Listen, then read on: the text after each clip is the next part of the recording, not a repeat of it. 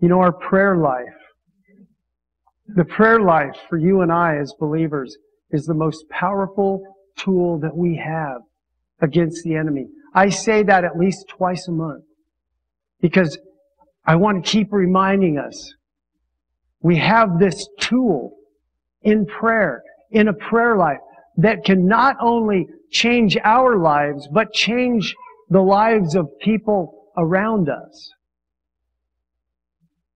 When we pray and we pray, but we don't listen back to what the Lord is telling us, we don't get the fulfillment. We don't see the miracle. And God wants us to know that He answers every single prayer that comes before Him. God answers. Sometimes the answer is no. Sometimes it takes years. I've had answered prayers in my life that are 20, 30 years old. I think most of us can say that. So let's never take our prayer life for granted. Amen.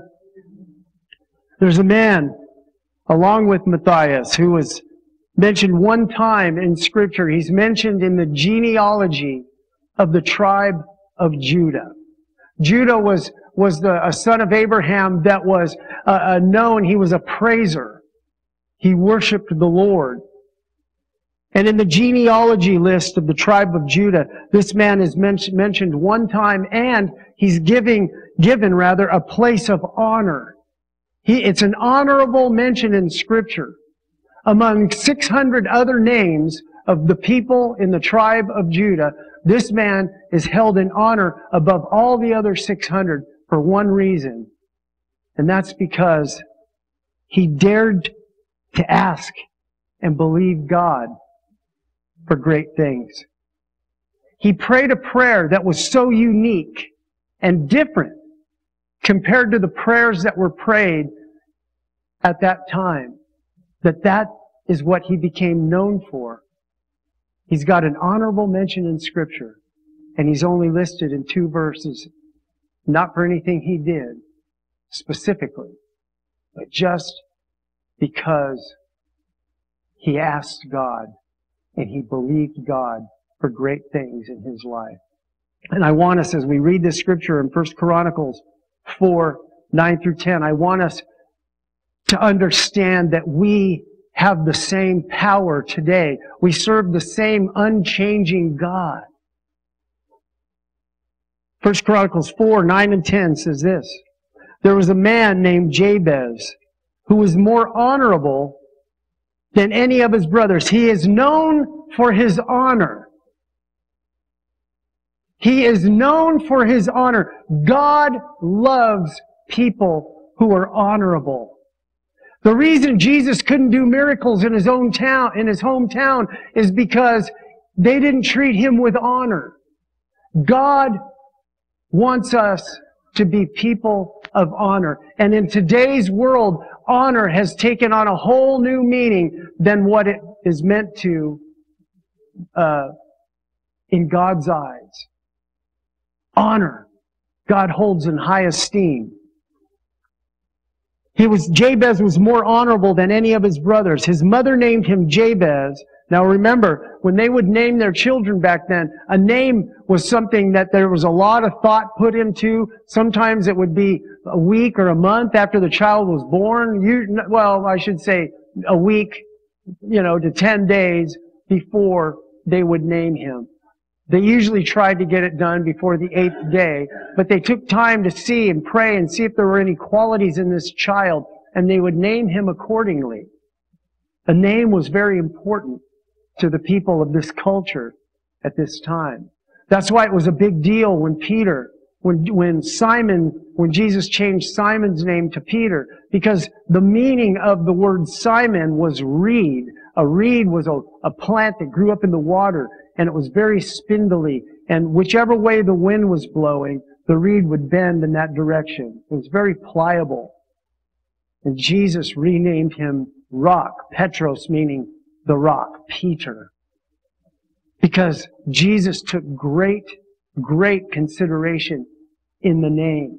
Jesus knew that Peter was not a man that would be bent whichever direction the wind blows, that he was stubborn, that he was solid, that he was firm.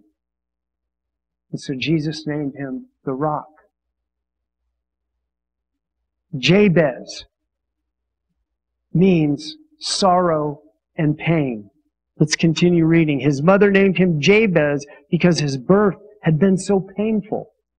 For he was the one. He was the one. This didn't happen all the time. It was unique until Jabez. He was the one out of all the people that had been born, all the religious leaders, everybody in the church, for lack of a better word at that time, Jabez was the one who prayed to the God of Israel. And this is his prayer. Oh, that you would bless me and expand my territory. Please be with me in all that I do and keep me from all trouble and pain. And God granted him his request. God granted his request. To you and I, this prayer doesn't seem so out there. It's like, yeah, so we pray that all the time. Well, this was the knuckle. This was the turning point when people used to just, that was unheard of to ask God to bless you. At that time, all of the praise and all the blessing was heaped over onto God. You said, I bless you, Lord. I praise you, Lord.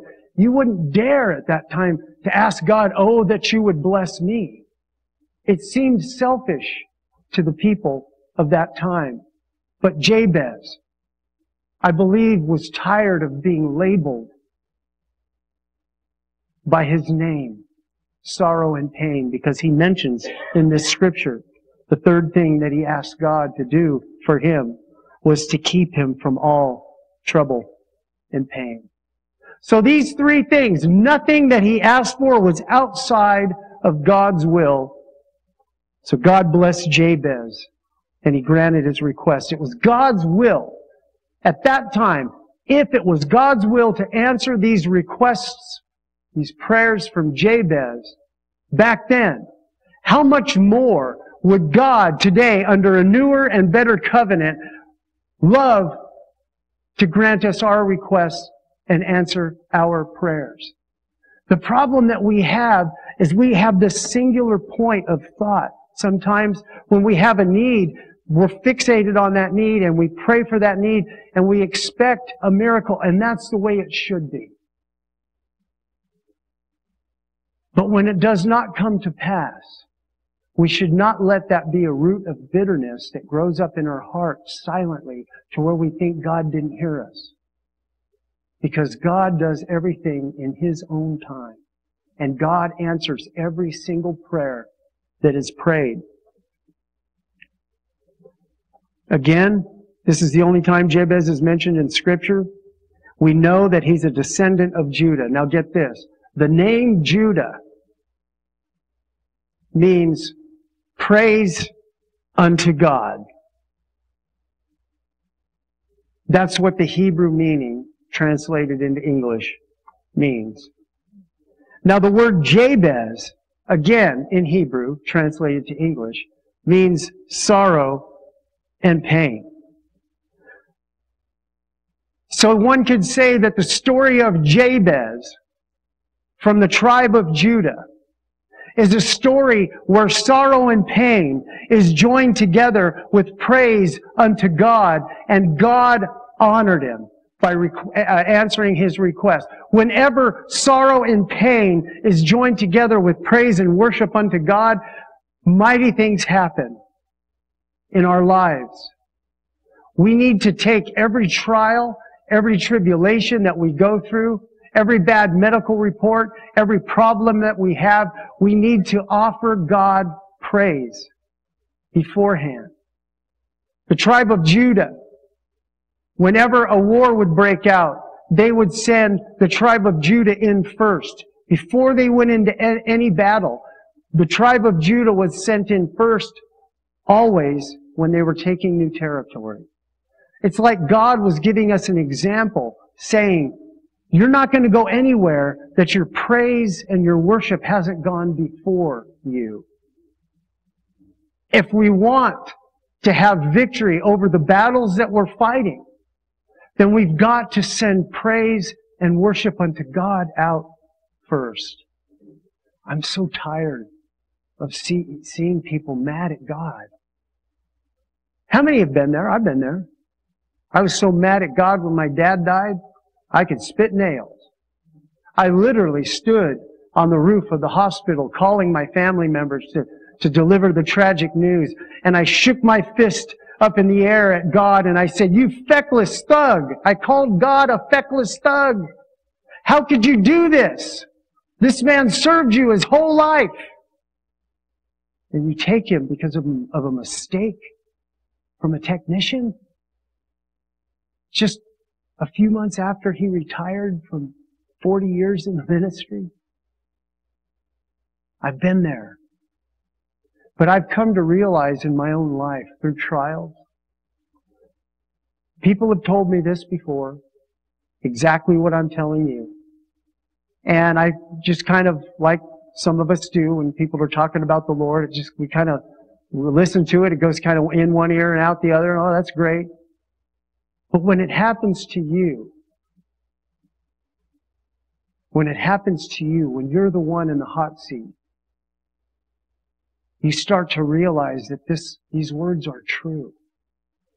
In our darkest moments, when we come into the house of the Lord so heavy with a burden that we can't seem to lift our hands in praise. Psychologically, emotionally, mentally. We come in here where we've been many times before, where we, we lifted our hands and sang and praised and our heart just sang to God. And then we have these problems that happen and we come in and our hands just seem to be heavy. And after my dad died, I went to a Sunday service and I went into the sanctuary in that condition. It was a beautiful day. I wanted to go to the beach. Didn't want to be in church. But I went. First song came. Just kind of sang it. Nah, nah, nah. Began to pray. Starts with prayer. I began to pray. Lord, I don't like feeling like this. Pretty soon my hands are in this area. And I began to sing and worship God. The song we were singing, I remember it. Was, Oh Lord, you're beautiful. Your face is all I see. Pretty soon my hands are lifted. And as to clean me out on the inside, the tears began to flow. And I'm not a crying man. Only when I'm touched by the Holy Spirit of God, usually do the tears flow. And I began to lift my hands, and as to wash me on, on the inside, the tears began to flow. And I got victory. Where I didn't, I went in thinking victory could never come. I'm always going to be mad at God for this. But victory came when I sent praise and worship out unto God. God gave me victory over the battle, the spiritual battle that I had been fighting. It's like God's telling us in this story. It's like He's, He's saying, when you send the praise out first, every time, then I will begin to lift you up and out of your circumstance and lead you into victory. We need to get this spirit we need to get this into our spirit because before we're able to do the things that God has called us to do, before we're able to, to get away from the chains that the enemy has on us, and once we, we think about chains, we think about addiction, and we think about gossip and sin and all these things, but I'm talking about the chains of complacency in our Christian life. I'm talking about the chains of holding grudges, the chains of unforgiveness. These are all things that most Christians deal with. And God is saying, when you send the praise out first, then I will lift you up and out of your circumstances. Because Satan wants to keep us in our chains. Whatever he's shackled onto our hearts, he wants us to keep us there, to keep us from moving forward. He wants to keep the chains, the, the heaviness that I felt in my arms. I had a picture in my, my mind's eye of the enemy had shackles and chains on my arms, and I, that's why I couldn't lift them. Because he had chained me down. But once I began to, my heart began to praise God, those chains were broken, and I was lifted up and out of the circumstances. You know, a lot of Christians will never never get to the point in their Christian life where they receive this message. A lot of believers that are sitting in churches today, just merely religious people, they're good people. They're, they're, they're honest people. They go to church every Sunday and Wednesday. They do things for others. They're very good people. But a lot of those people have never truly learned how to bring praise from their innermost being. Bring praise unto the Lord. And that's why they seem to be unchanging. They're never witnessing. They're never on fire for God, but they're always at their posts. They're always in, in church, but they're never doing anything other than being in church. Because the enemy has had them shackled. They sit and they think, well, it's the, some people come and they think, well, it's the praise and worship team's job to to bring praise. So they come with a taker's attitude. They come into the church with a taker's attitude. I'm going to let the praise and the worship team lift me up and out of my burdens and get me in the mood with a good song or something that I like to get me in the mood to praise and worship. That's completely backwards. It's not the praise team's job. It's our job. Some people come, they never pray, they never read their Bible, but they come to church every Sunday because they believe it's the pastor's job to feed them. It's not the pastor's job only to feed you because it's our job to feed ourselves all week long. It's not the teacher's job to feed the children the spiritual lessons that they do. It's the family. It's the father's job. It's the mother's job at home. You see what I'm saying? So a lot of people have it backwards because they haven't truly learned what this is saying. That if we send out praise, then God first, then God will lift us up and out of our circumstances. We have to stop looking at our praise and worship time as just a Sunday morning sing along. Amen.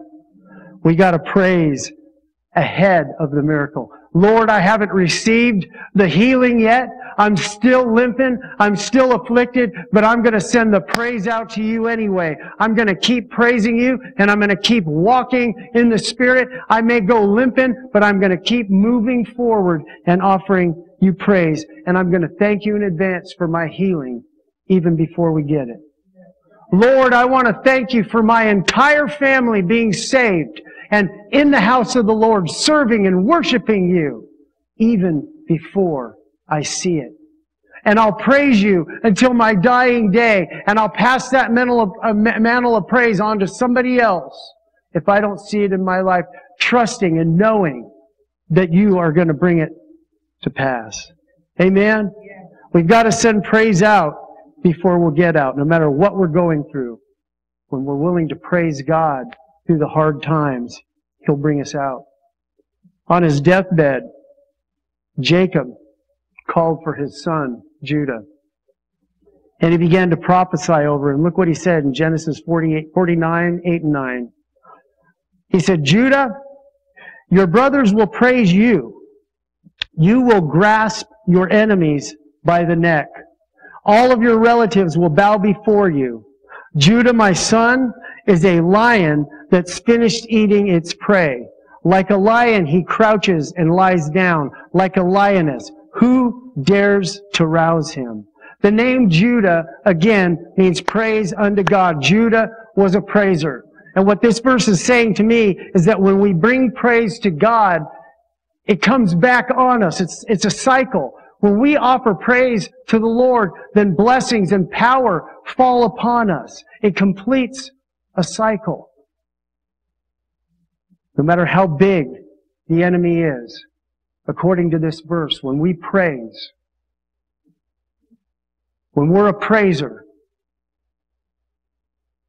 and we begin to praise God in a church service, in our car, wherever it is, then a hand goes out in the spiritual world and grabs the enemy by the neck. Amen? Too many, too many believers are stuck in this complacency. If we could see that true praise, just like prayer, is spiritual warfare. When we praise truly from our hearts, if we could see what was going on in the spiritual world, then you'd see the enemy getting grabbed by the throat and thrown out of the way. There's so many people that just go through the motions of praise. Psalm 47 tells us to clap our hands and shout. Clap your hands, all ye people. Shout unto God with the voice of triumph.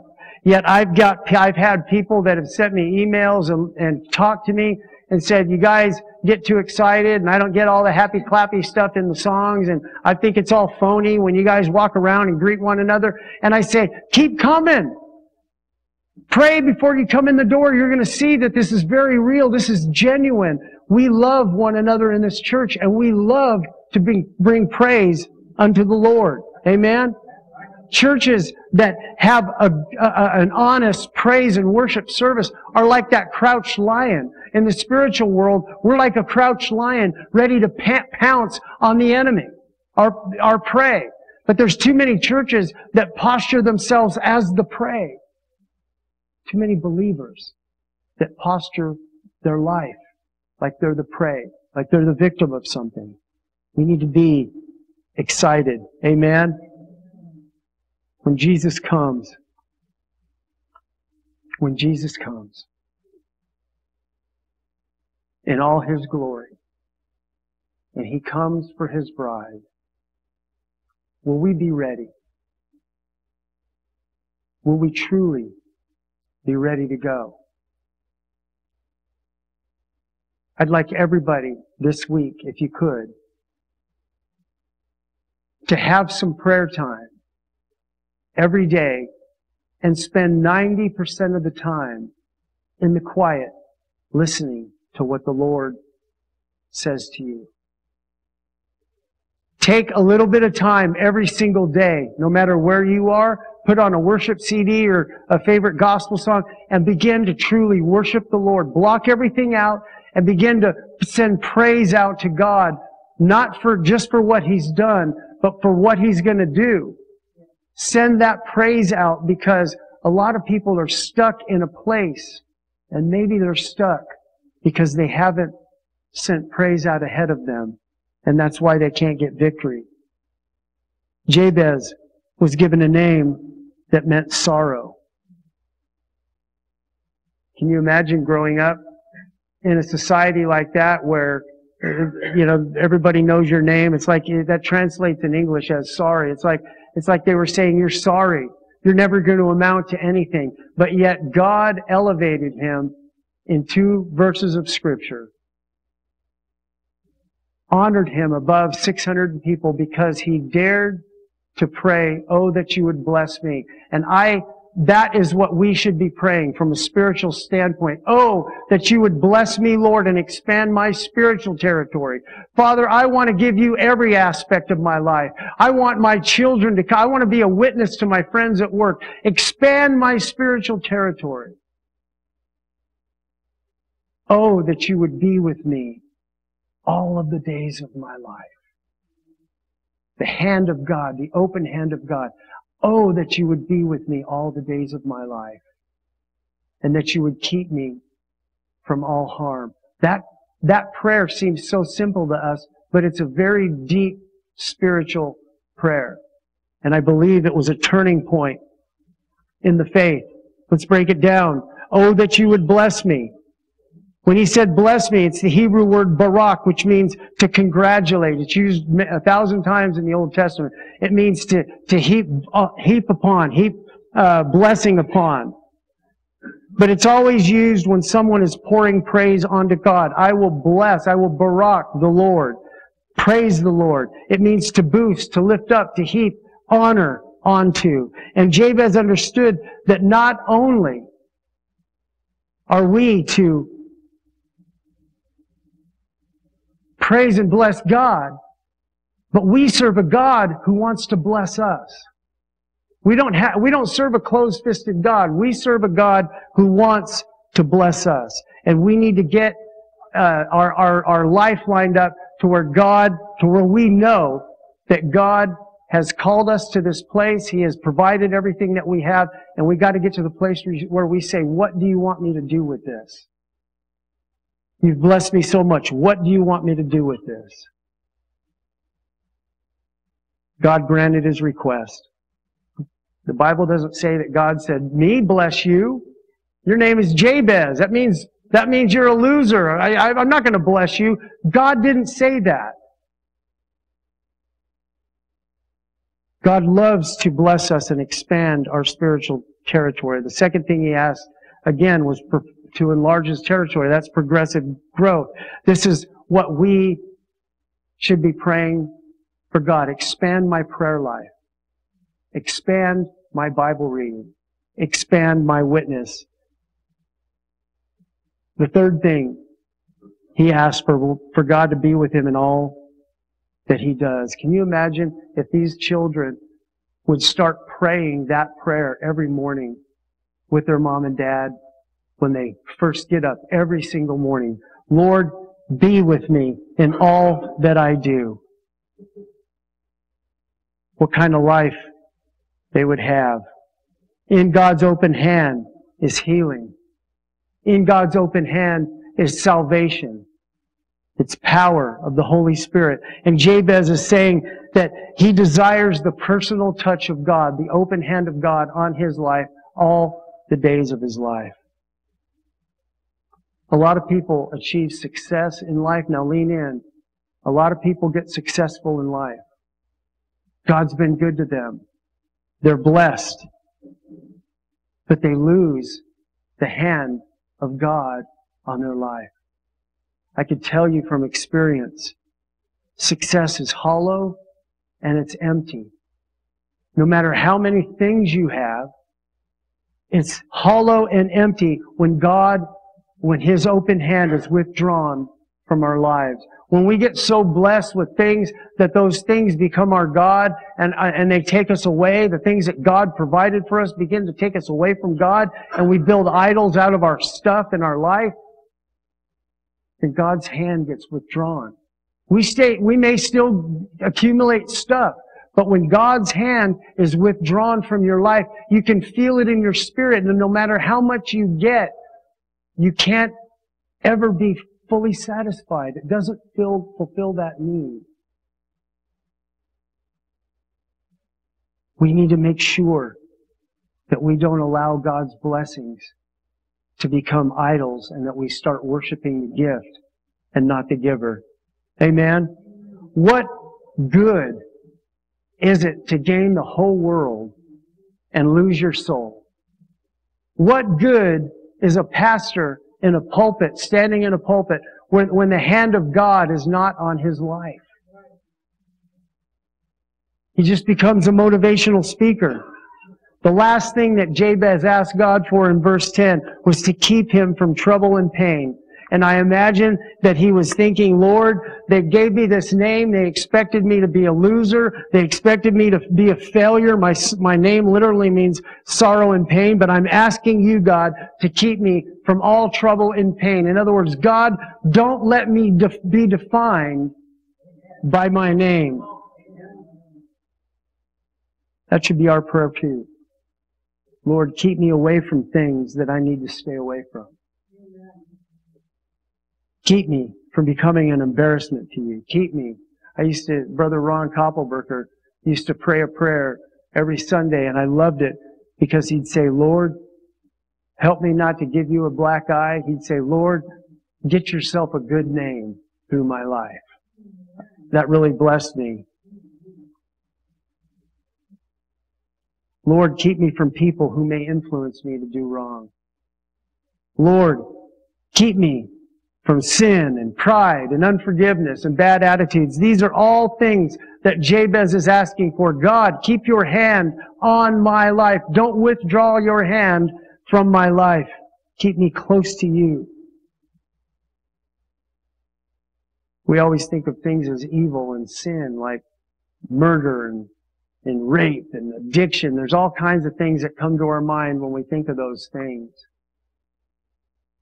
And it's true that evil, the enemy, is all sorts of demonic uh, demons and spirits, principalities and power in the air, uh, uh, powers of the air. But it's also evil is also things like pride and backbiting, thinking we're better than someone else, thinking others are beneath us, thinking we deserve, uh, you know, a choice seat in the house.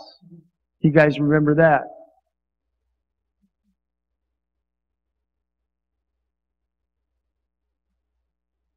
And God granted what Jabez requested.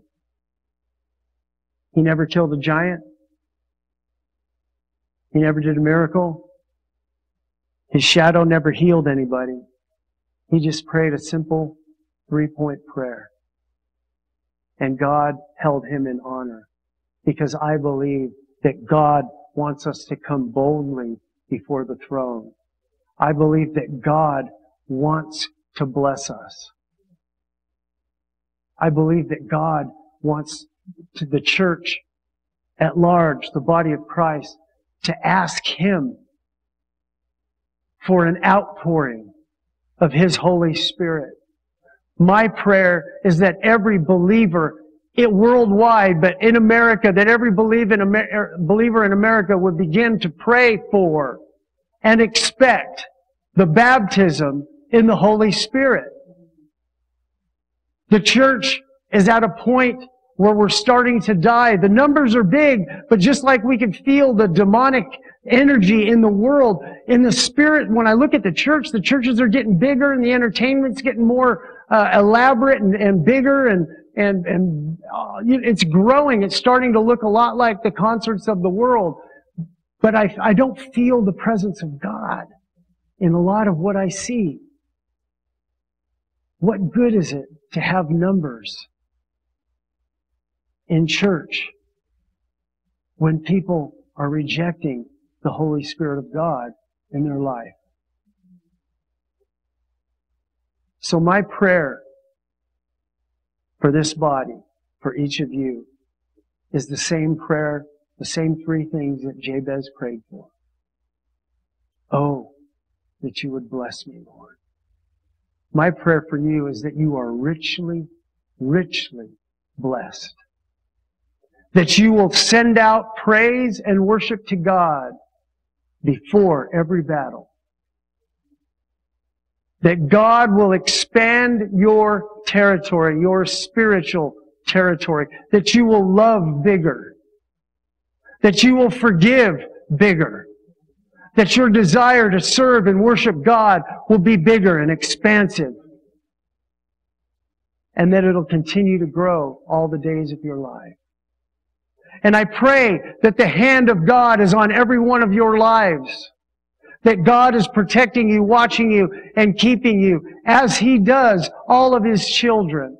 But my prayer for you guys is that the hand of God would touch your life and wake up the dormant things that God has called you to do over the years, long before we all got together as a church family, but all of the callings that God has put on your heart when you were young men and women. All of the leadings, all of the ideas that came into your, and into your life, into your, into your mind, and you knew they were from God, and maybe you went and wrote them down. Maybe God gave you a vision of how something could be, but it's been so long ago, you don't remember how the dream went.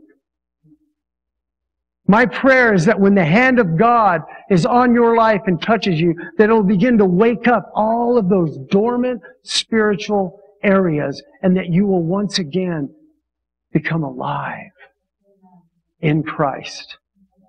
That you will know who you are in Christ. So that the Lord would bless you.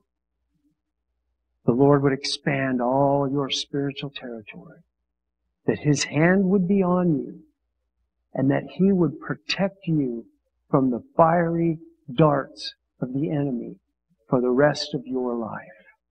That you will have spiritual shields around you. And the Bible tells us how we do that. We do that by putting on the full armor of God. So just from these few little verses in scripture, and I, for time's sake, uh, I cut it by three quarters. Uh, that's why it, seemed, it seemed a little, uh, but I'm just saying, I, I cut it back for time's sake because I, I know that the weather's bad and, and some of you travel, but uh, I just want to say, I hope that you take away from this message to send praise out and worship out to God first. Every day, no matter what your circumstance. I pray that you come boldly before the throne of God and, and dare to pray bold prayers and ask God, like Jabez did. A man of honor, that you would ask God to bless you, expand your territory, keep his hand on you, and protect you all of, of, of your days. Because we have work to do. When God led us here, everybody thought I was crazy uh, because you know, uh, when you're going to start any sort of a business, you go to the, the big, you go to Franklin or you go to places like that. And when we were praying about where to start, servant's heart, God kept leading Linda and I here. And, and there was nothing here. There was a gas station and a Waffle House but I was saying, surely, Lord, you don't mean that you're leading us to start a church here. And the Lord said, yes, I am. And don't call me Shirley. No, I'm just kidding. no. So he said, yes, I knew that I knew that I knew that this was a spot. So we began looking for places that we could rent. We go down here, there's a little strip mall on the left and a little strip mall on the right. I went to the little strip mall on the right because I saw a cross on a window. And I walked into that place and they said, it's vacant. There was a church here. They just left. It's ready for you to come on in. They had a kitchen. They had nine classrooms. They had a rec center that would be great for youth. They had a, a, sanctuary area set up with a little riser, a stage. They had all the wiring in for the sound system. They had everything we need. And I just knew that God had led us there. And I was like, thank you, Lord. Thank you, Lord. Lord. I said, I'm not feeling it, Linda. I'm not, I'm not getting that word. Let's go look at the other place. The other place is empty. It's in foreclosure. The tiles are hanging off and wires are coming out of the wall. There's not even any electricity where we could see it. I called the number on the window and the guy came down. He says, well, if we, I can rent it to you, but we can only, you have to get out in five days if, if we need you out because it's in foreclosure and they may repossess at any time. Surely, Lord, this isn't the place. And God lit me up. Yes, it is. But Lord, I can't do anything with it. That's why I want you here. Because I don't need you to do anything but follow my lead. So we went into the foreclosed place and a bunch of us got together and Doug brought his tools and some wood and we made that church, that little place a church. And we had those two suites. We were there for four years. Souls got saved in that place. Lives were changed in that place. It was totally not what I would have done. I say all that to say this. Even through all that, there was still nothing here. But if you look around today, God gave us the miracle of this land. We could never build on this land. There was something written in the deed. And at one o'clock in the morning, after pouring through all the deeds, Linda and I found something. The Lord led us to something, and we found out that we actually could build here, so we bought it, and praise God, we closed escrow, and, and we were able to build. And look what God does. There's a church here filled with people who love one another. And all around us right now, you can hear the saws and the hammers, and you can hear the concrete trucks, and you can hear the backup alarms beeping because in every direction around this church, there is building happening. Single family homes. The harvest is white. God is doing something in this area and He wants to do something with this church. That's why I say, let the praise go out before you. We've got a battle to fight. Things are, the devil is going to be coming down hard and he's going to be trying to get us to feel defeated. But we need, as a church, to take the posture of a crouching lion, ready. We need to take the posture of praising God, letting that hand of God go out in the spiritual world and grab Satan by the neck and shake him and say, get out of here. You have no authority here.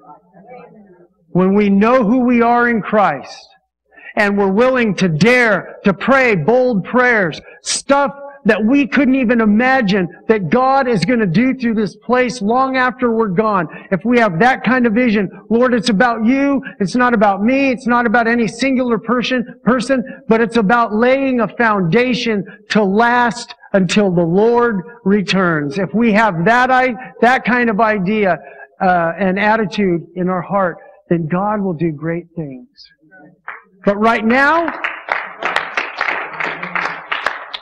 we've got a little bit of a respite because these houses are starting to be occupied.